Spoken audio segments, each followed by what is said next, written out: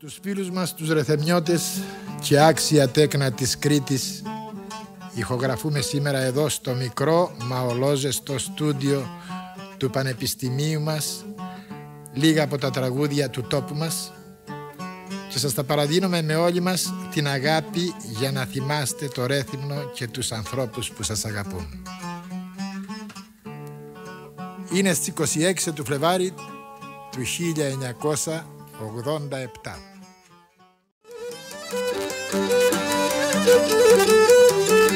Άιντες για σένα κλαίω, για σένα κλαίω και πονώ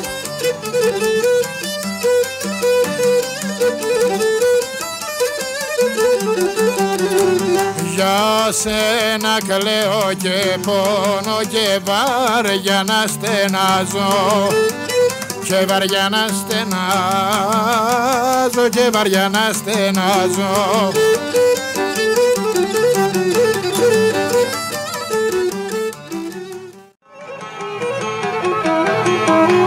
Αβες μες στόρεθε, μες στόρεθε μια νοπαξέ αμάν,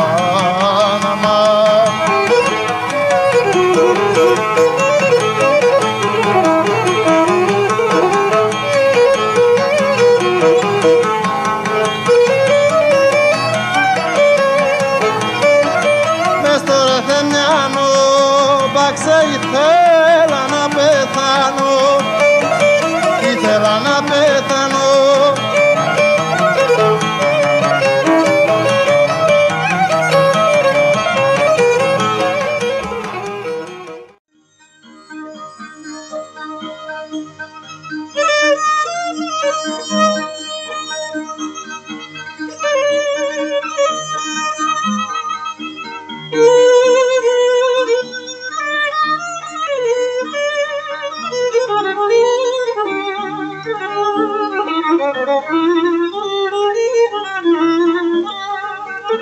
Thank